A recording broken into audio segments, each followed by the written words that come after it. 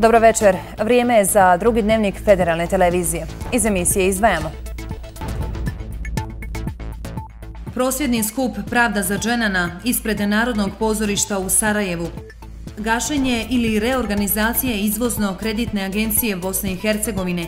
Razlog višemilijunski gubici. Američki predsjednik Donald Trump osudio bivšeg odjetnika nakon medijskih izvješća da je snimao razgovor s njim o isplati bivšoj Playboyevoj zečici. Film Mali, redatelja Antonija Nujića, dobitnik velike zlatne arene na ovogodišnjem filmskom festivalu u Puli.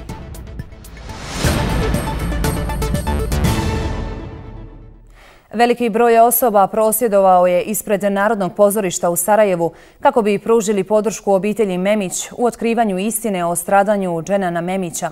Ovo su inače prvi prosvjedi nakon izricanja nepravomoćne oslobađajuće presude Ljubi i Bekri Seferoviću, koje je tužiteljstvo kantona Sarajevo sumnjičilo za smrt Dženana Memića. Prosvjede prati kolegica Adna Mirvić. Adna, je li okupljanje gotovo i koje su glavne poruke poslane sa okupljanja? Mihajla više stotina građana i dalje je okupljeno ovdje kako bi pružili podršku porodici Memić. Svi oni došli su tu kako su kazali da bi poslali jednu poruku da se istina o stradanju Dženana Memića mora otkriti. Ovo su najveći protesti do sada, e, inače osmi po redu, ali prvi kao što si kazala, nakon što je izrečena oslobađajuća nepravomoćna presuda Ljubi i eh, Bekri i Seferoviću koji su teret, koji je tužilo što kantona Sarajevo teretilo za izazivanje saobraćajne nesreće u slučaju smrti Dženan Memić. Sam otac Dženana Memića, dakle Muriz Memić, od početka je tvrdio da je Dženan ubijen, da je sve što je tužilaštvo kantona Sarajevo do sada radilo, dakle kvalifikovalo slučaj kao saobraćajnu nesreću, zapravo samo farsa i sakrivanje istine. I to je ono što je specifično za ovaj slučaj. Naime, tužilaštvo kantona Sarajevo u nekoliko navrata mijenjalo je kvalifikaciju samog slučaja. Prvo su ga vodili kao saobraćajnu nesreću, zatim kao ubistva sa nepoznatim počiniocem, da bi nakon toga vratili se na prvobitni stav. Najveće pitanje svakako je šta slijedi dalje. Naime, porodica Memić svjesna je da predstoji nova pravna bitka. Oni su ponovo danas zatražili da slučaj Memić preusme državno tužilaštvo, a VSTV pozvali da pokrene disciplinske postupke protiv svih tužilaca koji su radili na slučaju Memić. U Sarajevo ovdje stigli su i građani iz Banja Luke, predvođeni Davorom Dragičevićem, ocem stradalog Davida. Dakle, i mjesecima u Banja Luci vode se protesti kako bi se otkrile sve istine E, dakle sve okolnosti e, u kojima je stradao i David, ali podršku su pružili i porodica i prijatelji Selme i Edite, studentica koje su stradale prošle godine. Evo predlažem da poslušamo izjave dakle porodice i okljenih građana. Kantonalno tužilaštvo više ovo ne može raditi. Oni su pokazali svoje, ja ću napraviti šatorsko nasilje ispred državnog tužilaštva, ali moraju preuzeti ovaj slučaj. Jer ovo nije jednostavno slučaj. Ko što je reklo kantonalno tužlaštvo, ovo je jednostavan slučaj, znači mogli su ga riješiti isti dan, ali nisu htjeli da ga riješi. Montirali su optužnice, evo mi smo im pokazali da nije tako i mi ćemo istrajati u ovome. Naravno da ovo nije jedini način, ovo je prvi način ispravan i pravi koje ja i Muriz radimo, znači mirno i dostojanstveno. Ako ne budu htjeli, naravno da postoji drugi način za našu djecu koja su ubijena i za Davida i za Dženana. Što tvrdimo od prvog trenutka, Nažalost, Muriz se duže bori nego ja, ali ja im neću dati toliko vremena. Naš slučaj znači traje godinu i pol dana, između toga je odgođen devet puta. Znači, godinu i pol dana, čist, čista situacija, sve se zna šta je, kako je, a mi se borimo da, da to dokažemo. Znači, to je, to je mjerilo države, mjerilo pravosuđa, mjerilo tužilaštva, Znači, ništa to oni ne radi. Oni da su radili svoj posao, mi bi to završili za tri mjeseca. Vlast, političari ne predstavljaju ove građane i to možemo vidjeti ovdje. Oni su porobili institucije, institucije služe isključivo u interesu onih koji su na vlasti. To je jedan proces koji traje još od 90. godina. Što se tiče sudstva, pa bila bi ovo neka pravna država da oni radi svoj posao. A doći će vrijeme da će bježati sami od sebe. Osim informacije da će tužilaštvo kantona Sarajevo e, iz uložiti žalbu na oslobađajuću presudu Ljubi Bekri Seferoviću. Do sad, do danas nije bilo nekih jačih reakcija niti iz tužilaštva kantona Sarajevo, niti iz kantonalnog MUPA, ali ni bez TV-a. E, podsjetit ću, Dženan Memić e, stradao je e, 8. februara 2016. godine u Velikoj Aleji na Iliđi, preminuo nekoliko dana kasnije, međutim okolnosti u kojima je stradao do danas nisu razjašnjene i od tada zapravo traje borba porodice Memić. Oni su i danas ovdje poručili da neće odustati sve dok se ne pronađu svi krivci za e, stradanje, ali i za sakrivanje dokaza e, u slučaju Memić. Evo kao što možete vidjeti u ovim trenucima upravo je dakle završen e, protest pod nazivom Pravda za dženana. Studio. Adna, hvala ti. O prosjednom okupljanju u Sarajevu za dnevnik je izvijestila kolegica Adna Mirvić. Služba za poslove sa strancima uz asistenciju pripadnika Ministarstva unutrašnjih poslova Unsko-Sanskog kantona i kantona Sarajevo premjestila je 93 migranta u azilanski centar u Delijašu, kojim upravlja Ministarstvo sigurnosti Bosne i Hercegovine. Riječ je o migrantima koji su boravili u parkovima i zelenim površinama u urbanom dijelu Bihaća. U azilanskom centru i pored nedovoljnih e, kapaciteta, migrantima će biti osiguran adekvatan smještaj, potrebna zdravstvena zaštita te drugi neophodni uvjeti za human boravak do rješavanja njihovog statusa u Bosni i Hercegovini. Više od 4000 ilegalnih migranata koliko se nalazi na području Unsko-Sanskog kantona svoj životni put želi nastaviti u zemljama Europske unije. No zbog stroge kontrole vanjskih granica Unije, ta ideja za mnoge nije realna. Zbog toga mnogi od njih okupljaju se u napuštenim objektima u blizini graničnog prijelaza Izačić u nadi da će u jutarnjim ili noćnim satima uspjeti ilegalno prijeći granicu. Mještani Izačića zbog okupljanja migranata u blizini stambenih kuća kažu strahuju za sigurnost te samo inicijativno prave blokade na ulicama ne dozvoljavajući prevoznicima da dovoze migrante. Pred kamere međutim neće. O svemu je upoznati prvi čovjek policije Unsko-Sanskog kantona. Stupili smo u kontakt sa predsjednikom mjesne zajednice. Ovaj, bilo je takvi slučaj, znači posebno neovlašteno prevozi gore i dolazak na Izačić, onda su građane zabrinuti, pa oni ulaze u napuštene kuće, čekaju ovaj jutro da pređu negdje prema Hrvatskoj. Iz granične policije Bosne i Hercegovine tvrde da imaju operativna saznanja o koncentraciji migranata u graničnoj zoni Izačić, ali da situaciju drže pod kontrolom. Mi, bez obzira na kadrovski manjak, koji je zaista problem i u ovoj jedinici, e, redovno vršimo patrolnu djelatnost i e, organiziraju se patrole u graničnom pojasu. Ipak, mnogi od ilegalnih migranata uspjevaju ilegalno preći hrvatsku granicu, ali zbog ogromnog prisustva hrvatske policije u graničnim područjima, taj put je kratak. Jedan od njih je i Noman, migrant iz Pakistana, koji je prešao granicu Hrvatske, ali nakon što ga je tamošnja policija uhapsila, deportovan je nazad u BiH. Tukli su me po rukama, onda su me položili na zemlju i udarali po leđima sa palicama. Kada su pokušali da me udaraju po licu, branio sam se rukama i tada su mi slomili ruku. Rijetki od migranata žele javno govoriti o nehumanom postupanju hrvatske policije. O svemu je upoznat kantonalni premijer koji obavijestio nadležne institucije kao i međunarodnu zajednicu. Mi smo onaj, pri svega reagirali prema nadležnom ministarstvu koje onaj, mora dalje prema Evropskoj uniji. Da li su oni svoje nadležne upoznali stvarno, vjerujte, ja nemam tu povratnu informaciju, ali da se takve stvari ponovo dešavaju, dešavaju se. Zatražili smo izvaničan stav Hrvatske granične policije, no na naše upite nismo dobili nikakav odgovor. Dodatni problem jeste i stalni prilim novih ilegalnih migranata na području Unsko-Sanskog kantona, prvenstveno grada Bihaća, čiji se broj zbog nemogućnosti prelaska državne granice svakodnevno povećava. Kantonalni premijer najavljuje pojačanu kontrolu saobraćaja na ulazu u kanton. Mi po svojim operativnim podacima koji nisu za javnost, dakle, onaj ćemo i dalje raditi na tome da pojačamo kontrole na ulazu u kanton, i da prema onima koji bez ikakvih odobrenja zvančnih institucija dovoze onaj, na naš kanton ćemo podnositi sankcije, odnosno prema zakonskoj regulativi podnositi prijave. Činjenica je da je najveća koncentracija migranata u Unsko-Sanskom kantonu, ali je nejasno gdje će se upućivati migranti kojima ne bude omogućen ulazak u kanton i koliko je ovakvu odluku moguće provesti.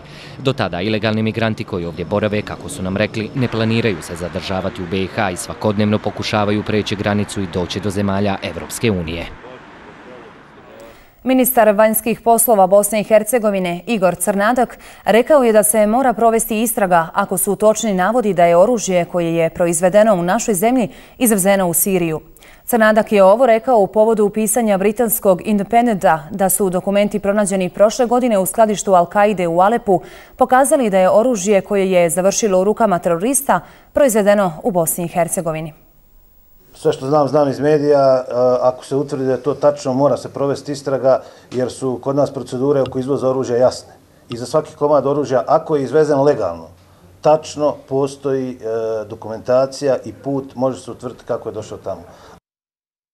Uskoro bi se trebalo znati hoće li se ostvariti višegodišnje špekulacije o gašenju izvozno-kreditne agencije Bosne i Hercegovine. Razlog su višemilijunski gubici zbog kojih već četiri godine nemaju puni kapacitet za pomoć BH izvoznim tvrtkama, a to im je osnovna funkcija zbog koje su uz pomoć Svjetske banke formirani prije 14 godina. Većina gubitaka IGE od oko 80 miliona eura napravljena je davanjem garancija, a potom i njihovim obnavljanjem za kredite Unisove tvornice cijevi iz Dervente, koja svoje obaveze ne izmiruje već četiri godine. Kreditori su se pokušali namiriti od IGE, a trpe svi drugi izvoznici koji bez garanta na državnom nivou nerijetko gube izvozne poslove. Zbog toga su cijeli slučaj istraživali i državni parlamentarci, koji su uz očigledan niz nepravilnosti u nabavci sirovi sirovina za UNIS ukazali na odgovornost rugovodstva IGE, ali prvenstveno uprave indirektnog oporezivanja, jer su oni ti koji su morali reagirati prvi. Ko će pokriti te gubitke, vidjet ćemo, ali u svakom slučaju naš izvještaj ukazuje da je postojao jedan organizirani, da tako kažem, e, ima elemente organiziranog kriminala i mi smo e, kompletan izvještaj dostavili tužilaštvu Bosne i Hercegovine da se zapravo ispita e, uloga svi oni koji su donosili odluke i dovodili igu u ovakvo stanje.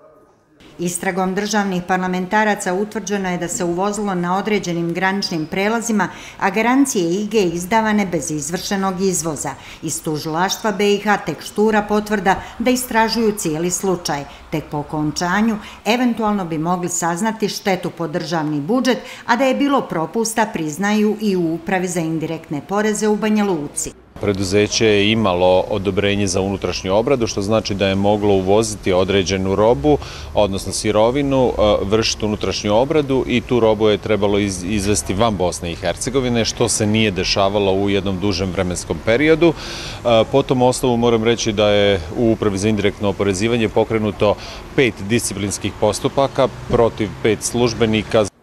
Samo jedno je priznalo propuste protiv četvoro koji nisu, drugostepeni postupak je u toku u fazi odlučivanja i konačna sudbina IGE. Nakon što su nedvojbeno utvrdili da je ona nužna BH izvoznicima, državni parlamentarci od upravnog odbora IGE traže da se opredijele za jedno od tri moguća rješenja. Bez konačne odluke niko od njih ne želi reći daju li prednost održavanju trenutnog stanja, njenom gašenju ili reorganizaciji.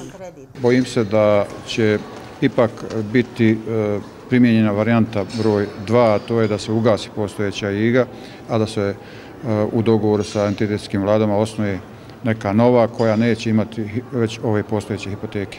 Kako god saznajemo da zbog godišnjih odmora upravni odbor neće skoro zasjedati, te je nerealno da ovaj saziv okonča cijelu priču. Neizvjesno je hoće li biti utvrđena krivnja onih koji su najodgovorniji i koji su osimslili ovu očiglednu pljačku državnog novca. Čak kad bi se ostvarila neka optimistična predviđanja da je od ukupno garantiranih 170 miliona maraka za UNIS, realno da IGA izgubi 30 miliona, oni taj novac nemaju. Primjera radi, Ukupan osnivački kapital od Svjetske banke prije 14 godina bio im je 50 miliona maraka. Osam godina traje priča o izgradnji hidroelektrane Vranduk na rijeci Bosni. Iako je rok za izgradnju u studeni 2019. godine, još se čeka suglasnost kreditora Europske banke za obnovu i razvoj i Europske investicijske banke za promjenu izvođača radova.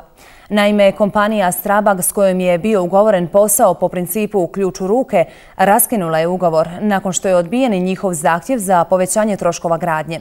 Sada projekt treba preuzeti konzorciji Končar i Euroasfalt. Investitor Elektroprivreda Bosne i Hercegovine nastavak radova najavljuje prije jeseni. Ovako je gradilište hidroelektrane Vranduk na rijeci Bosni izgledalo u aprilu prošle godine. Ovako izgleda ovih dana. Izuzev što je nabujala vegetacija, a rijeka Bosna se zbog objekta u svom koritu povremeno izlijeva, ništa se nije promijenilo.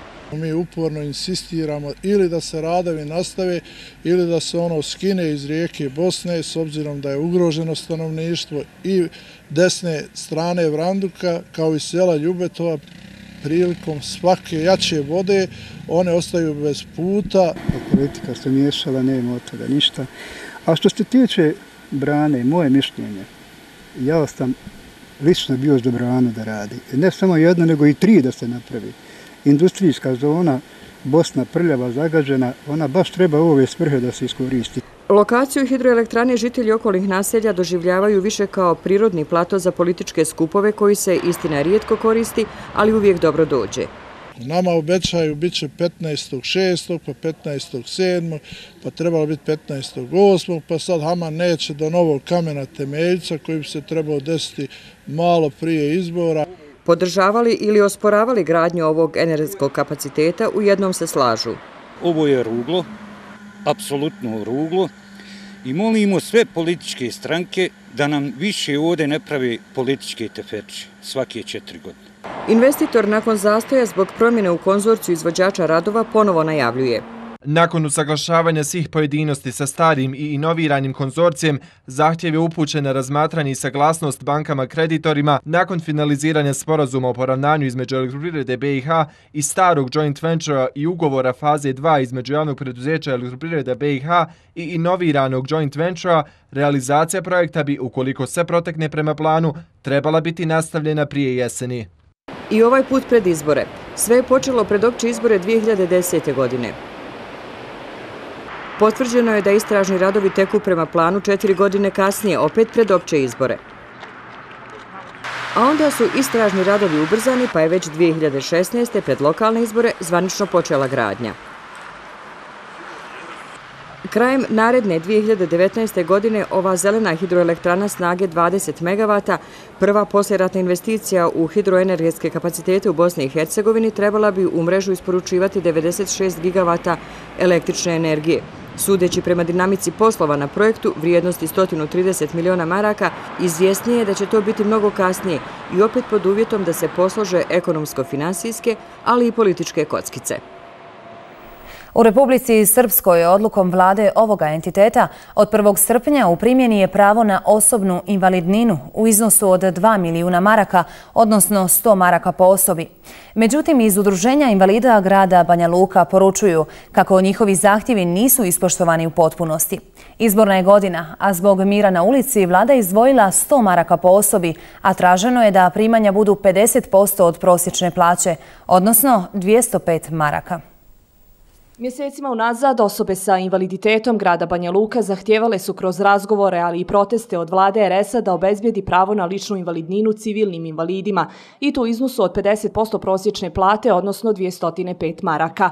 Odobrena je lična invalidnina od 100 maraka i to samo osobama kojima je invalidnost veća od 80% nastupila do 18. godine života. Ali mislim da je to napravda prema tim ljudima, znači da ono neko koje je sa 18 godina obolio i sa 19 da se pravi tu neka razlika i to nema nigdje, samo ovdje kod nas.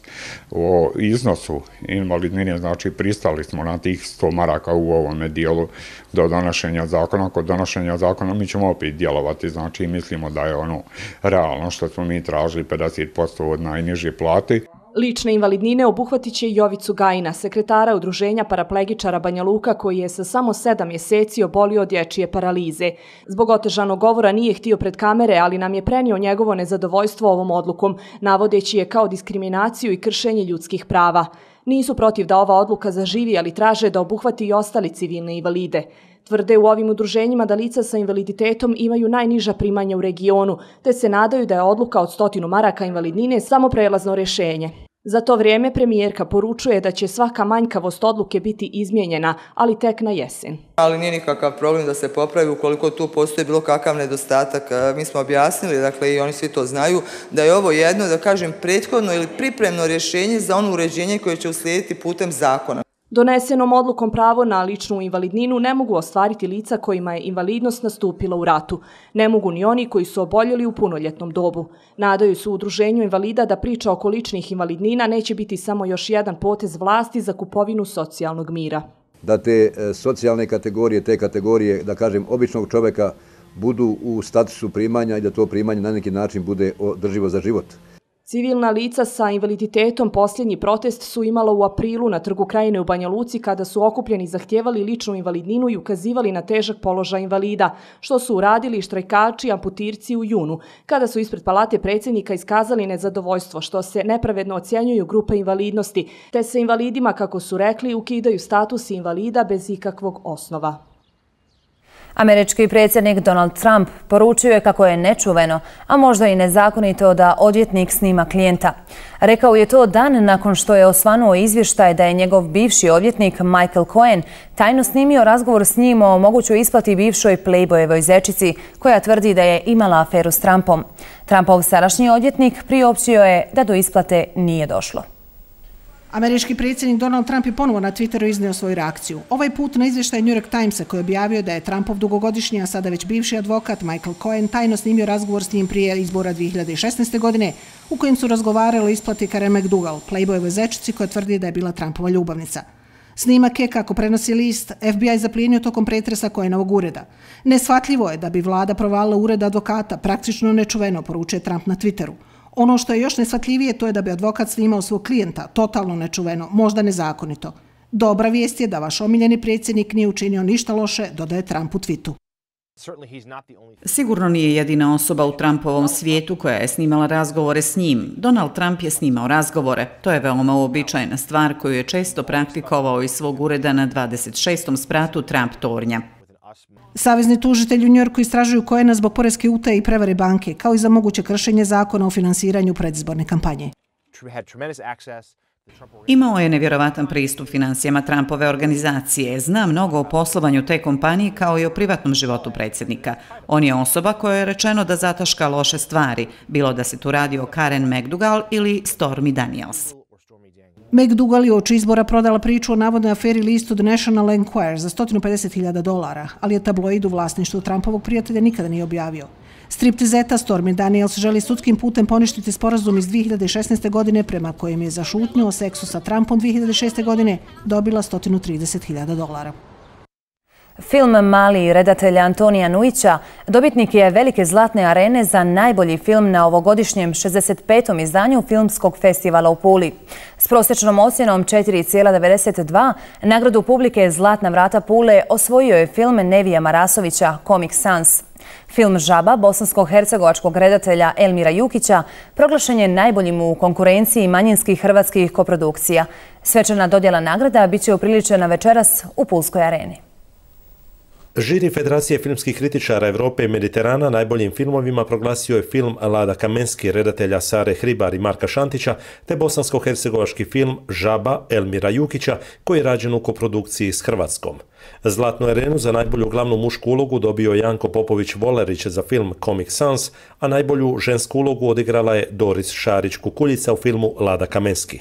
Najbolji film ovogodišnjeg Pulskog festivala Mali, Sarajli i Antonija Nujića, kriminalistička je drama koja se bavi pokušajem osuđenog dilera i ovisnika da zadrži skrbništvo nad sinom. I svoj vrstni je nastavak njegova prethodnog filma Seks, piće i krvoproliće, koji se bavio životima zagrebaških delikvenata navijača Dinama. Jako je lijepo kad film počne život tako sa nagradama, sa, sa dobrim, dobrim prijemom. Iako nam je drago što smo dobili nagradu koja pokazuje da se film svidio i žiriju i kritici, što ovaj nije, nije čest slučaj. U hrvatskom programu za Zlatnu arenu natjecalo se 17 domaćih filmova. Zemlja prijatelj festivala bila je Izrael, a premijerno je prikazan niz međunarodnih filmskih ostvarenja. 65. izdanje najstarijeg filmskog festivala u ovom dijelu Evrope nastoji vratiti staru slavu i potrebnu dozu glamura, ali lišenu politike koja je godinama pratila ovaj festival još iz vremena Josipa Broza Tita, koji je ovdje ugošćavao zvijezde Hollywooda. Nakon devet dana festivalskog programa večeras je premijera novog nastavka popularnog filma Mama Mia, snimljenog na otoku Visu, a koji pak glumi Grčku. Proglašenjem najboljih i dodjelom nagrada sinoć je u Bugojnu završen 46. bosansko-hercegovački amaterski teatarski festival Fedra. Jednoglasnom odlukom stručnog i žirija publike najboljom je proglašena predstava Smak svita u izvedbi Hrvatskog kulturnog umjetničkog društva Didak Gradnići. Nakon punih osam festivalskih dana i ovogodišnja 46. Fedra tradicionalno je okončana proglašenjem najboljih među teatrima, čije su predstave odlukom selektora Seada Đulića bile u takmičarskom dijelu programa. Ovaj put stručni žiri publike bili su jednoglasni. Smak svita je jedna lijepa, pametna, dobro režirana predstava e, sa svim elementima pozorišnog jezika, Eto, drago mi je da i žiri publike odlučio da to bude smak svita. Ovaj teatar koji u okviru kulturno-umjetničkog društva djeluje tek sedam godina uz ovo laskavo priznanje nagrađeni za najbolju režiju, muziku te najbolju žensku ulogu. Izuzetno sam sretna, neopisivo sretna što smo ovdje tako snažno prepoznati. Očekivanja nisu bila takva, mi smo nekako još uvijek u nekom rastu. Među nagradama koji su sinoć dodijeljeni je jedna koja, kako su istakli članovi žirija, nije po propozicijama, ali nisu mogli odoljeti. Tako je nagrada za specijalnu glumačku bravuru uručena do Ajenu pozorišta iz Živinica. Nikad nisam dosta dobio ovako, ovakvu nagradu, specijalnu za bravure glumačke to je nešto posebno i drago mi je izuzetno. Nemam ni riječi da to iskaže. Ovogodišnja Fedra bila je prilika i da bosansko-hercegovački teatri predlože zajedničko viđenje budućnosti amaterizma, bez kojeg u ostalom ne bi bilo ni profesionalnih pozorišnih kuća. Poštovane gledatelji, toliko u Dnevniku. U nastavku pogledajte novosti sa sportskih terena. Hvala što ste bili s nama. Ugodan ostatak večeri.